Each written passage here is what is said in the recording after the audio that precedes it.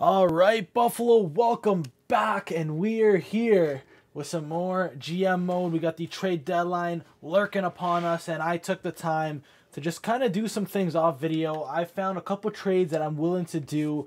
I'm going to show you the big one that I, I've been planning up. So we plan on the top five players that we plan on getting rid of: Craig Anderson, Girgensons, Sheahan, Okposo, and Ilya Lyubushkin. So this is a trade that I cooked up uh, that I was just looking at here. So it is to send uh, Girgensons and Ilya Lyubushkin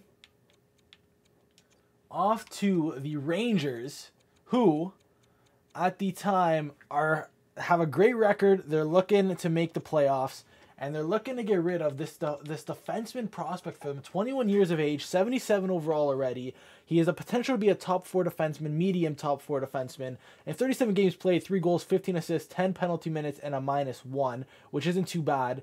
Now looking here is what I really like is the superstar abilities that he has: quick pick, yoink, tape to tape, and heat seeker. Now this could potentially go through. We are going to have to retain Ilya Lyubushkin, which is fine. I think we only have him locked up for a year, so we'll retain 50% of it, which I'm 100% okay with. Um, and he has a he has two years left, so we'd be retaining it for two years. It says we're gonna be under the league uh, cap, so maybe we won't retain. Ooh, okay, hold on. Give me a second here. It says we're gonna be under the cap. Buffalo would be under the league minimum cap. So is there someone that we can take from the Rangers, low trade value, that has a lot of cap? Maybe a Ryan Reaves and something like this could potentially go through. So this is a trade that we would be looking for at the trade deadline. Get rid of Girgensons, get rid of Lyubushkin. Now, in terms of Craig Anderson, in terms of uh, Sheahan and Okposo, these guys are going to get us draft picks for this year. That's all it's going to be. But this is a one big blockbuster. Not really a blockbuster, but uh, uh, something that I'm I'm willing to take a run at. 21 years old, 77 overall already. He'd be playing some good minutes. Well, now with that being said, uh, with that being said, we have some pretty good defensemen. Now, where exactly would he line up, right? So we're getting rid of Ilya Lyubushkin. Uh, we have Rasmus Dahlin, Owen Power, Jokiharju, Clague, like he would fit in there not too bad. We got Bryson, we got Samuelsson, some decent little players here. So this is a trade that I'm really liking. I had some other ones on the board here. Another player that I was looking at over in Colorado. Um, same sort of deal here. Um, let me just try to look for him.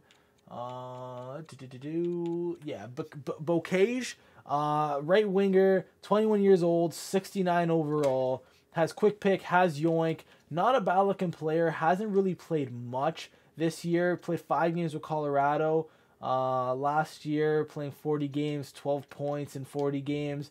Uh, I'm, I'm still liking Robertson over him. And then we were looking at another trade uh, over in Washington, uh, another rookie skater as well, Alexeyev, 77 overall, 23 years old, another defenseman, uh, similar to um, Robertson, Robertson has the superstar abilities, which I'd rather go after. So it looks like that's the one and only deal we're looking to make at the trade deadline. Obviously, other ones being for draft picks and looking away, uh, looking to ship off Craig Anderson, Sheahan, and Okposo, who is our captain right now but I don't see us signing him after the year. And if we do, we can just look at him in free agency, or maybe we just hang on to him um, and see what we can sign him back for next year. All right, now with that being said, we are just going to simulate the last month, and uh, we are heading up to the trade deadline. So what we're going to do is we're going to hit the trade deadline in this video. Uh, we're going to pretty much just simulate the whole season and sim up to the draft, and then next video will be when the draft comes back. Now, Starting off this video, Henry Jokiharju is going to be injured with a sore shoulder until February 12th. So that is not ideal, but it is okay. Like I said, we are trying to tank, so everyone's going to go up a line. And do we have a defenseman that's scratched? No, we do not. So let me go to roster moves. We're going to have to call up a defenseman. We probably should just keep up a defenseman since we, have just so many injuries on the back end. We'll call up uh, Pilut. Uh, hopefully, I'm saying these names right, man. I'm so bad with pronouncing some of these last names, so I apologize in advance. So, again, Lyubushkin up one, Clague up one, and then we will be bringing in Pew, and that looks good to me. All right, so that's that. Let's continue the sim here. Uh, Rasmus Dahlin's available, so we'll just continue. Let a couple days pass. Uh, we will do continue there as well. Jokiharju's back. So with that being said, we'll bring in Rasmus Dahlin back. I don't think we want to bring in Jokiharju back just yet. So let me do this real quick. Uh, ooh, not Jokiharju. We're gonna bring in Dahlin, which means we will be taking out probably Bright. Like who? Who do we take out? I think it's gonna be maybe Samuelsson for the time being. Uh, so let's do that. Samuelsson, is he on a two-way so we can send him back? He's on a one-way. Is Bryson on a two-way? He's on a one-way as well. So we're going to have to scratch both of these guys, or at least one of them. Dahlin's back. We're going to wait on uh, Henry Jokiharju. Uh, the Flames have uh, fired their coach. We're winning games again after bringing in Rasmus Dahlin. Uh, Jokiharju should be good to play, so let's throw him back into the lineup as well. Uh, so everyone's going to pretty much just move down a line. And Henry Jokiharju is back into the lineup, and we will continue the sim just like that. So our, our top pairing is back and healthy and ready to go. Um, days or weeks prior to the trade deadline, uh, but we're not looking to ship off either or of those guys. All right, so we get a trade coming in, and okay, interesting. Cage was one of the guys that we were looking at, and we were going to get rid of Girgensons and Lyubushkin. Now, they won our third round pick of 2020 24, 2024, and we're going to get back their fourth. We're going to give up Riley Sheahan, who is a player that we are looking to get rid of. And in exchange, we're bringing in Beaucage. Now, I did like this kid. 21 years old, right winger. Uh, he's a potential, a low potential being a top nine forward. So is he someone we're willing to take a risk on? I'm not too sure. Uh, some decent X factors. He could be a decent little fourth liner. Is he worth getting rid of a third round pick? I, I don't know if he's worth getting rid of a third round pick for next year, especially. Uh, that could be a pick that we can use next year in a potential trade. We would be getting a fourth rounder back, which isn't too bad. Riley Sheahan, could we get more than just a fourth round pick back for him? Probably not. Like the highest pick we could probably get for him is probably a third round pick of this year. I think I might pass on this. I know I was looking at this kid but man, a low top nine forward. He does have those synergies, but I don't think it's someone we're willing to take a risk on. So you know what? We're gonna exit out of that. We could probably get a third rounder, which is what I'm like, especially for this year, is something that I'm looking forward to. So the trade deadline is coming up. We'll sim to a day before and just kind of look where this team is at. We are 27, 26, and 8. We're still in seventh uh, place in the Atlantic. In the whole NHL, you know, we we are bottom 10, which is good. So another thing was I was looking at Jeff Skinner. Now, is he a contract that or is he a player that I want to unload at the deadline this time around? I don't think so. Um I know his contract's not the greatest, 5 years at 9.6. I say we give him one more year, and if the team tanks next year as well, maybe he's someone we're willing to give up. Uh, but for the time being, I think uh, Skinner's a guy we're going to keep. So the one trade that we are for sure making for a prospect is Gerg and Lyubushkin for Robertson and, and Reaves. So uh, we are going to head into the trade deadline. We are going to be sellers. I think we're going to be conservative sellers because um, we're not looking to sell too much. Uh, so here we are. We are a conservative seller.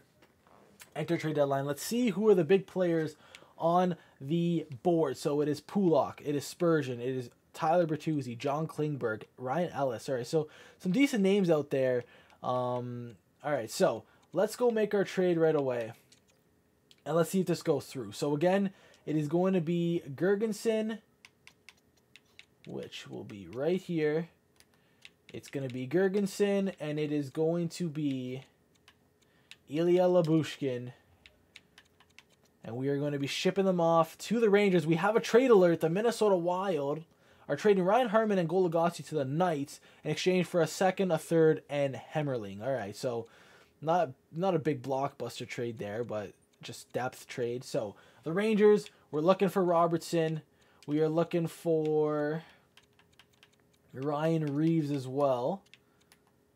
He is right over here. And we are going to retain Ilya Lyubushkin's salary. And we got another trade alert coming here as the Arizona Coyotes are trading Troy Stecher, a third rounder, and a fifth uh, to the Canucks for a fifth rounder and a second rounder. Right, so this is a trade we're looking to make. Girgensons, Lyubushkin for Ryan Reaves and Robertson. Let's see if it goes through, and it is rejected. Okay, so they're not a fan of it, which I totally understand. Now, who who are players that are matching the block that they potentially want here? Okay, so someone that we're willing to give up essentially with a little bit of trade value. Kyle Okposo could be one of those guys. Uh, Sheahan, we need someone with low cap as well. Maybe a Riley Sheahan. See if that potentially goes through. Sheahan, Lyubushkin, and Girgensons for Robertson and Reaves. And the trade is accepted. All right. So maybe we overpaid a little bit. We could have maybe got a draft pick in there. But the one trade that we wanted to make is done and over with. So a good prospect in Robertson coming back our way. Now, Craig Anderson, I do want to get rid of him. I do want to bring up UPL and um, just kind of have him have the net for the rest of the season. So Craig Anderson, who is interested in Craig Anderson? Uh, it is looking like may just be okay. Nashville's looking for them. They have a decent record. Uh, someone with a worse record who wants Craig Anderson looks like it's just gonna be Vancouver. Okay, and the Caps. All right, so it looks like Vancouver has one of the worst records out here, out of those teams. We got a trade coming in. Ooh, two seconds for Josh Norris. Okay, interesting. All right, so we have two second round picks from 2023. Is that a glitch? Do we actually have two second overall picks? Okay, so Buffalo and Vegas second round picks. For Josh Norris, who is having a decent year, second line forward, uh, no no X factors eight years of seven nine, almost eight. I don't know. We're trying to draft right now. We're trying to draft. Josh Norris is 23, which is the good news. Do we want to get rid of two second round picks? Now, looking at our draft picks, we will still have a second round pick uh, in Phillies. We don't have a third for this year, which we can try and go and acquire. We have a fourth, a fifth, a sixth, and a seventh. Are we willing to give up two seconds for Josh Norris? That's the question. He's 23 top six forward, medium. Uh, he would fit into this team on the forward line three and penalty kill line two. Uh, we are looking to bring in a new coach next year. I don't know. This is kind of a deal where it's like I- I'm kind of interested in it, but at the same time, is given two second overall picks too much for Josh Norris, and it's an eight year contract at eight mil. Will this contract bite us in the butt? I, I, man, we might have to decline this. We might have to decline this. I'm to keep our second round picks and hope that drafting really just works out in our favor. Okay, so back to what we were doing. It was Craig Anderson going to Vancouver. I don't know what kind of draft pick we can get for him here. Maybe if we can try to snag a sixth overall pick, Vancouver would have more. Okay, so Vancouver is not going to work. Um, Maybe we will try Winnipeg. We can get a seventh rounder for him. We got another trade here. St. Louis is trading Noel Acciari and a couple picks to Columbus for Bemstrom and a second rounder. All right, so let's see if this goes through. All right, Craig Anderson is off to Winnipeg as we get a seventh round pick there. So that is Girgensons, that is Anderson, that is Lyubushkin gone, uh, and Sheahan is gone as well. So uh, really the only other player we're looking to get rid of is Kyle Okposo, and I'm kind of keen to just keeping him and seeing what he wants come the off season. Okay, Winnipeg making another trade. They're trading a second rounder, a fourth rounder, and Wagner to the Islanders in exchange for Scott Mayfield and a third rounder. As long, wow, and Zach Parise as well. Okay, so it looks like the moves that we were looking to make are done. All right, we brought in that brought that prospect and Robertson, who we were really looking to bring in. Uh, he was a, a, rookie that I was really just looking at and actually really just uh, liking as well. So Robertson, 77 overall. He's to be playing with these guys. Um, and UPL as well will be coming in and playing full time. Detroit's trading Nedeljkovic to Chicago for a third and two thirds. Okay, wow, interesting. Uh, but like I said, UPL is going to get the net uh, for the remainder of the season, play some NHL games. Has he played any NHL games? So he has. Uh, he went 2 5 and 3, 916 save percentage, which isn't too bad. So he's going to be playing some NHL times, uh, time games. Uh, with that being said, trade deadline is pretty much done for us. I'm going to sit here. If there's any blockbuster trades, I will bring them up quickly before we go. Edmonton's making a trade, sending a third and a fourth, and Mattias Janmark to the Dallas Stars in exchange in exchange for Stan Stankovic and Ertl. All right. So if there's any blockbusters, we will come back. Uh, power of uh, editing. All right, Colorado has made a trade. Artturi Lehkonen and a six round pick to the Islanders in exchange for Semyon Varlamov and Lemieux. All right, that's an interesting little trade there. Colorado making another trade. They're trading Gorgiev and Olausson as long uh, with a fifth round pick to Detroit in exchange for Tyler Bertuzzi and Sundqvist. Oh my god, that is a blockbuster trade. Let's go look at that one. I need to break that one down real quick. So Tyler Bertuzzi and Oskar Sundqvist are Colorado Avalanche. Uh, as Gorgiev, Olausson, and a fifth round pick is going back in return. Um, I want to say Colorado won that trade, and my God, Joe Sakic is uh he's he's pulling off some magic once again. Colorado's looking to go back to back this year. Incoming trade alert. Okay, all right. Another interesting trade. Our two seconds again one from this year, one from next year, and Bjork for a third and Jonas Brodin. Okay, so here's my thing. We don't really need defensemen. We need we need offense. This isn't a trade that I'm really interested in. Um, not not to say that it's bad, but we have a pretty decent defensive core. We traded for a defensive prospect. We're looking for offensive players. I'm kind of thinking we should have accepted that trade when Josh Norris was on the board from Ottawa. The Maple Leafs are making a deal as they're sending Kokkonen and a third round pick to Los Angeles in exchange for a third, Edler, and a sixth round pick. So Toronto getting some veteran defense uh, back there, which they desperately need. Good trade. Carolina making a trade here with just over an hour left. They're trading Suzuki Drury to the San Jose Sharks in exchange for Nudavara, a fourth, and a fifth round pick. So a good prospect heading over. Incoming trade, two seconds for Iafallo and Walker. Uh, not something I'm interested in. Gonna decline. I want to keep those second round picks. We could have got Josh Norris for those two seconds. Uh, so I'm gonna decline that. And the trade deadline has come and gone. Some big deals. The one coming out of Colorado as they acquired Tyler Bertuzzi and Sundqvist in exchange for Gorgiev and Olausson. That is the only big trade that really happened. Huge blockbuster there. So now we got some uh, waiver players here. John Hanley, 31 years old, has some X factors. Uh, not someone we're really interested in. Uh, so we're going to decline that real quick. And now, what I wanted to go do was make the moves where we bring up UPL and maybe even play Robertson up here. All right, so Bjork is now a full timer. Ryan Reaves is now on the team as well. Uh, Mittelstadt's gonna play up there. Skinner, I want up there.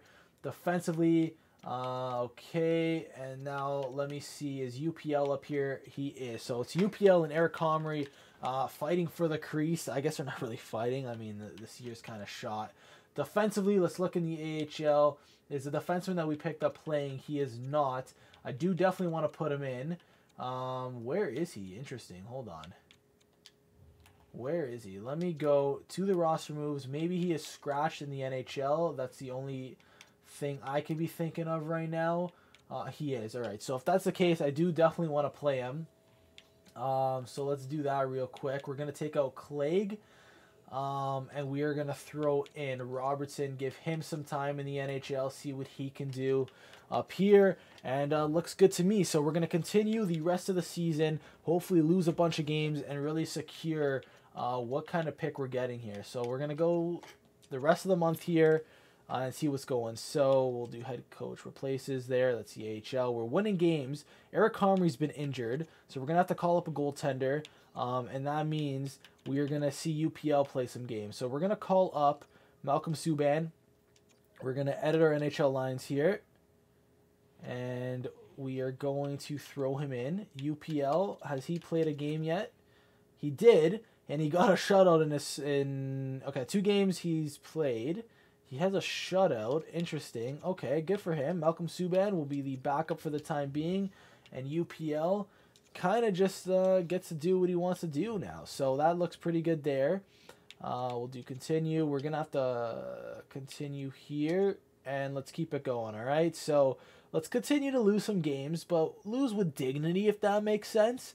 Um, so, yeah, all right. So Eric Comrie's back. You know what? Um, I kind of just want to sit him and let UPL just run with the crease. Uh, so no offense to Eric Comrie there, right? So let's keep it going. It's been a piss poor month, which we are pretty happy with. I'm not gonna lie. So we're 31, 33, and 11. We are still in seventh. There's no way I can see the Canadiens catching us. Um, so I think like we're gonna have. I don't know if we're gonna be in the top five for picks. So that's gonna be interesting there. Okay, so let's keep it going. Keep the losses coming. Vinny Hinostroza will be out for the rest of the season. Uh, not ideal, so we'll move up Ryan Reaves. Is anyone scratched up here? Uh, just defenseman. So we're going to have to call up a forward. So let's go do that real quick. Uh, who is going to finish the season with us? You know what? Let's call up Peyton Krebs. He's up to a 79. Or was he always 79? He might have always been 79. We'll call up Peyton Krebs. We're going to give him some playing time to end off the NHL season. And you know what? I am going to throw him onto that third line as well. So let's throw Peyton Krebs in here. Uh, he could play left wing, so we'll throw him on that left wing there. And uh, let's see what he can do playing with the big boys up in the NHL. All right, so let's continue simming here. Uh, four nothing loss, nine two loss. We're losing some big boy games, which isn't ideal. Five two loss, four nothing win. Vinny Hinostroza is back, um, and he now okay. So we're above. We can just send down one of the players that are scratched. Um, who's on a two-way pew? We'll send him down. Oh, we can't. Okay, so who can we send down? It can't be Bjork. We got to send down someone. All right, hold on. Uh, let's just auto fix the roster to end off the season, anyways. Not a big deal. Bjork's now injured. We'll just do best lines for the last game of the season. And that is it. So we end off the season 34, 37, and 11. We are in seventh place. The Canadiens actually almost did catch up to us. Um, so let's quickly just look at everyone's stats to end off the year here. Jeff Skinner ended up finishing the year with 78 points in 82 games, 39 goals, 39 assists. Olofsson 66 and 82, Thompson 61 and 76, Tuch 51 and, and 82, a minus 22. Did not have a great year there. Um, goalies, uh, UPL 4 5 and 3, 908 save percentage. That is a okay with me. Comrie went 8 13 and 2, 907, and Subban 1 5 and O with an 867. Not great from him. Now, looking at the entire league here, how did everyone do? So, who led in points and all that good stuff here, all right? So, looking at points, no one had a 100 point season. Crosby finishing with 98, Kucherov with 93, McDavid with 93. Most goals 52 with Malkin, 50 with Ovi, 50 with uh, Matthews, 50 with Kucherov, 49 with Mikko Rantanen. And now, let's see where we finished off uh, in the entire NHL here. I'm actually very interested to see. So, entire league uh, points, we finished in 25th. So, not great. Not great. Uh, we could potentially get a decent little pick, but 25th is where we ended up finishing off uh, the year. All right. So, that's pretty much everything we want to see. We'll simulate through all the playoffs and uh, and just kind of see what happens there, right? So the NHL season is complete.